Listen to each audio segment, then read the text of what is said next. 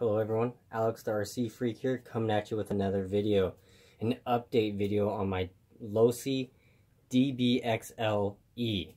So as you know, if you watched my running video, my bash video of it, um, I smacked a tree and broke the left front lower control arm. So um, what I'm here to show you guys is some parts I got for it. And also, I just want to say this as a quick um, thank you to everyone and anybody who has taken a few moments of their time to watch my videos, subscribe to the channel, um, for all the kind comments.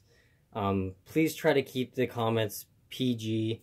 You know, I you know I don't appreciate the some people have did disrespectful comments, so I do not appreciate that. Um, but also, I just want to say thank you so much for the bottom of my heart. I appreciate all the comments. I try to answer every and any question or any comment that has um, been put on any one of my videos. I do my absolute best to answer every single one of them. So please, please do not be afraid to comment. Don't be afraid to ask me questions about anything. Any RC you may have, a project you may be working on, something custom. I may be able to help you. I'm pretty sure I probably will be able to help you. So, um, like I say, I'm a super easygoing guy, very respectful guy. Please don't be afraid to comment. You know, as always, let's get on with the video. Okay, so what I got here is a set of control arms. Let me get a light on here so you guys can see. These are the factory Team Losi control arms, part number LOS 254006. And this is for the Losi DBXL gasoline and the electric version.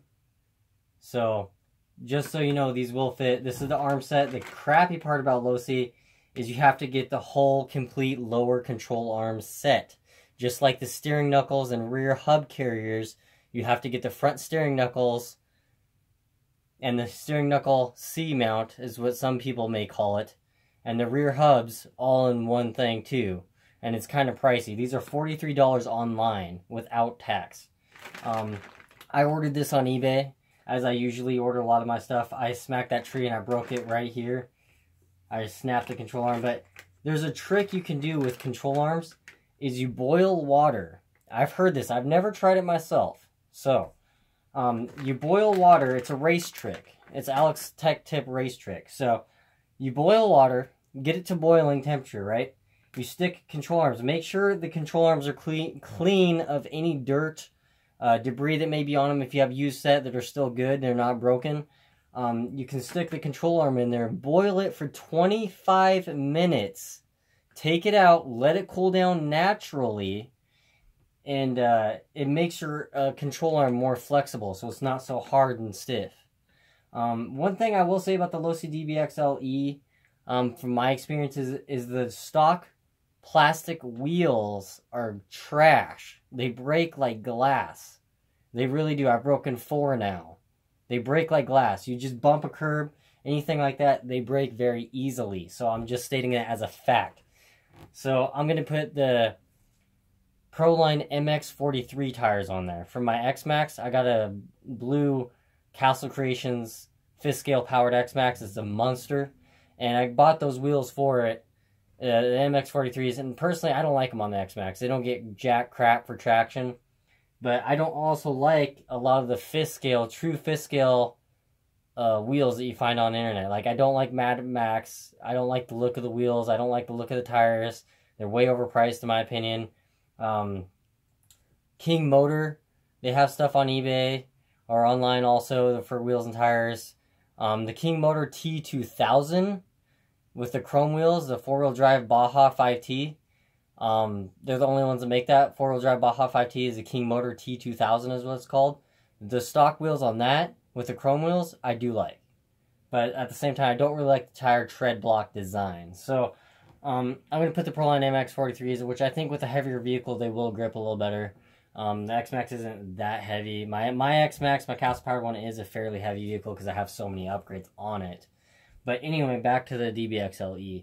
So these, basically what you do is you stick the control arms in boiling water for 25 minutes, and uh, it's supposed to make them more flexible, in theory. I've never tried it, so I can't guarantee it'll work for you. But uh, you just boil them for 25 minutes as stock arms or any plastic. You do that to hubs too, steering hubs. Um, I may try it and see what it does. Uh, like I say, I can't guarantee it's going to work, but I just want to show you that. And then also, I just want to mention we got a lot of surprise snow just a couple days ago, so I won't be doing any running videos for until the snow melts. We got a lot of it. We got like nine inches, so we got pretty good, and we're supposed to get more. So I apologize for that. I won't. I don't run my vehicles in the snow. Anyone who watches my channel, I've said that before. I will not do it. So here's what I really want to show you. Packaging. No, I'm just kidding. But uh, so what I got here is an upgrade. So it's from Josfer USA. It's a performance place. I got this on eBay. This is for the Losi DBXL or M Losi MTXL gasoline versions. So keep in mind the gasoline version has this place right here, this little skid plate in the center for the spur gear.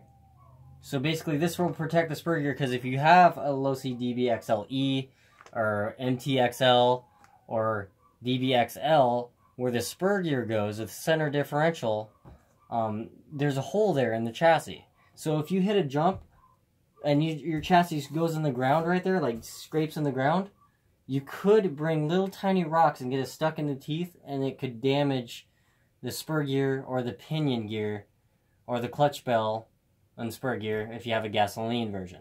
So they never stated this will work on the DBXLE, but I can pretty much guarantee that where the center differential is hasn't changed, how it's mounted. So this just goes, you got the center differential uh, brace, you sitting there, and this will just bolt up right on the bottom of the chassis, on that, that brace. So, and it covers that hole, which is really nice. So if you look, the back of it has a little cutout there. Let me just cut, take these out of the packaging here, and I'll be happy to show you. So, let me just... It's always nice to have a good pair of scissors. So, alright, let's start off with the center skid plate here. So, like I will say, this is super light metal. It's chamfered edged, CNC machined.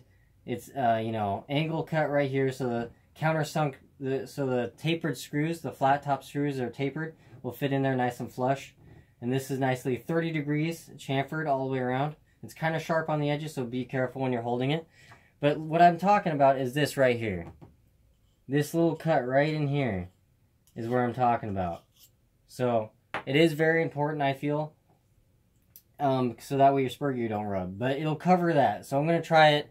And, you know, worst case scenario, the Losi DBXL, they do sell these on eBay for the Losi DBXLE. It doesn't come with this center skid plate. I wanted this center skid plate. I can almost guarantee it will work. So I will be doing an install video, just so you know. And here is the front skid. Now, one thing I will say about this aluminum, it does kind of feel cheap. It doesn't feel like high quality, really durable aluminum. There's different qualities of aluminum, believe it or not. So, um, there's some really cheapo quality aluminum. For example, Integy, Team Integy, aluminum hop-ups, their aluminum is like super cheap. It'll bend, it'll tweak very easily. Keep that in mind. Trust me, I've used it before. So, but this you know, these are three and a half millimeters thick. They're chamfer edges, you know, 30 degrees. They countersunk holes there.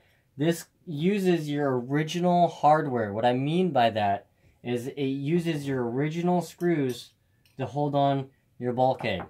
And which is nice. And what the nice thing is about having these skid plates mm-hmm. is they add a little bit more thickness to your chassis. And also they are like a skid plate. So when you're buggy, because it doesn't have very long shock shafts, it will bottom out when you jump it because it's so big, at least where I currently live. There's no racetrack big enough for a vehicle of that size. So it's more, for me, a basher vehicle. So, um, anyway, it's nice to have a skid plate with these chamfered edges so that way it's not like straight, you know, where it just digs in and plows dirt. But this will help protect your chassis and it will give it a little bit more strength too. So, uh, I, I feel like it's a very good upgrade to have these edges of these aluminum parts are very sharp. So like I say, be careful. This is the rear skid plate. And it's very nicely done too. And that's what I, I like the best is I wanted this for the rear skid plate. I got them in silver. They come in black, red, silver, I think blue. Don't quote me on the blue one. But uh, I know they do come in black and red. So um, yeah, they are pretty nicely. This one feels pretty good, pretty thick. You know, and what's nice is it'll add 3.5 millimeters thicker to your chassis. So your chassis is already 4 millimeters thick, the actual solid chassis part. Then it has a chassis brace in the center of it where everything kind of bolts onto. And that's probably another like 3 millimeters thick in that area though. But it bolts in the center of the chassis. So if you actually had a real DBXLE that you could look at, you would know what I'm talking about. Um, but uh, basically, yeah. So it's a pretty nice, you know, built pieces. Maybe they're more durable than they feel. Right. I mean, they do feel super light, kind of like chintzy aluminum. But I'm not saying they are. I'm just saying they do feel like a pretty light aluminum, which aluminum is supposed to be light. I know, but I don't know. It's one of those things that you'd have to personally feel in your own hands to understand exactly what I mean, and I'm trying to explain it the best I can. But um, yeah, so I just want to do kind of a showing you guys uh, what I've been doing, uh, what's been going on. Uh, if you haven't checked out my Losi bashing video, please do. I got a Hobbywing Max 5 ESC.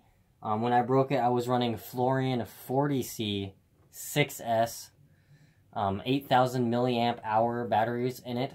And those are good batteries. They're not really a high powered battery for like punch and like really fast acceleration but they're really good battery for long run time. So if you're just kind of looking just to have, you know, fun, we're just bashing and just having a little bit of longer runtime, and you're not looking for the most power, every ounce of power you can possibly push through it, they're a good battery. But if you're wanting like the most power you can do for wheelies and crazy stunts, don't get the batteries. They won't do it for you. They don't have enough power at all, not even a tiny bit. So they're just they're just a good long runtime battery. That's what I like them for. So anyway, as always, Thank you so very much for watching my videos, and if any and all who've liked them, comment, subscribed, I sincerely appreciate from the bottom of my heart. I don't take anything for granted, just so you know. I'm I'm here for you guys to help you guys. I want to share my knowledge with you, and I'm more than happy to help anyone with any questions, anything like that they may have.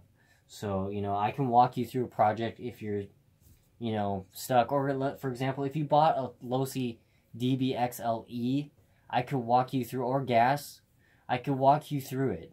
You know, if you're new and that's your first RC and you just stepped it up and got a badass one right out of the box, you know, seriously, I recommend you take it apart completely and make sure the diffs are lubed on the DBXLE because I can guarantee they weren't.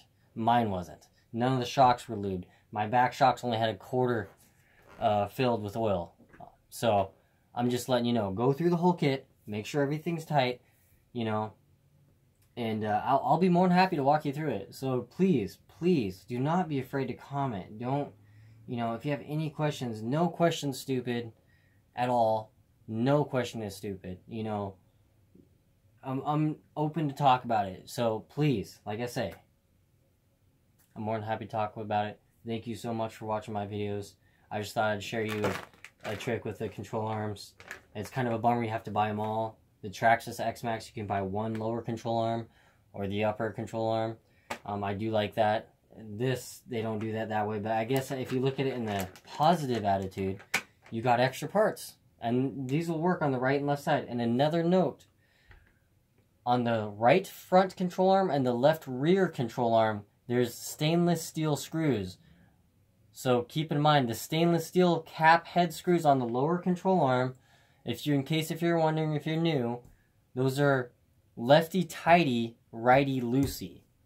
So, um, turn it right to loosen the screw, turn it counterclockwise to tighten it. So, it's kind of weird in that sense. I'm not really sure why they did that. It's kind of a Losi thing, is why they do that. So I just wanted to make that note to you.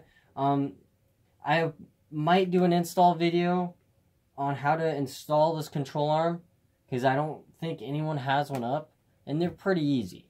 Uh, I, I took off the original one already, so I'll, do an install of one of these for you. Um, I'm probably going to boil these and try it. It's worth a shot. You know, don't get it so, you know, keep in mind, don't leave it in there so the plastic is so, so hot that you could melt the plastic. So, like I say, 25 minutes. Just bring the water to a boil. You don't have to have a super mega boiling. Just bring it to a boil. 25 minutes, put it on a timer. After that, take it off immediately. Don't let it sit there any longer, okay? Um, that's just kind of a race trick. And in theory, they say it makes the plastic more flexible. Like I say, I have never tried it. That's a disclaimer. I have never tried it, so I can't guarantee it'll work for you. If you want to try it, awesome. And if you try it before me, please let me know in the comments. I would love to hear about it. So, anyway, just want to tell you kind of what I'm doing. Um, some parts I got. Um, I may be doing another video tomorrow. I may be switching my connectors on my smaller 8 scale and smaller RCs to a different connector than the Traxxas connector. I've been running the Traxxas connector for years. Um, I'm kind of starting to feel that it's not as adequate of a connector as I would like it to be. So I'm going to be changing connectors on all my small RCs. My fit, my 1 6 scale and 1 5 scale electric powered RCs are running Castle Creations 6.5 millimeter connectors. So um, what you need to run something like that, some big heavy duty connector that's 200 amp rated and Castle Creations 6.5 millimeter connectors are the only connectors on the market right now currently that are 200 amp rated constant, consistently. So they there's a brand called XT. They make the XT90 plugs. Um, XT150s and 120s are rated for 120 amps continuous or 150 amps amps continuous. So um, I suggest Castle if you have a Losi DBXLE. The stock 4 millimeter or 4.5 millimeter plugs are not adequate for that size of vehicle. But anyway, thank you so very much for watching my videos. Thank you and all, you know, to any and everybody who's commented, you know, liked, subscribed. I genuinely appreciate it from the bottom of my heart. Um, all right. Everyone have a great day. And Alex RC Freak out. Peace.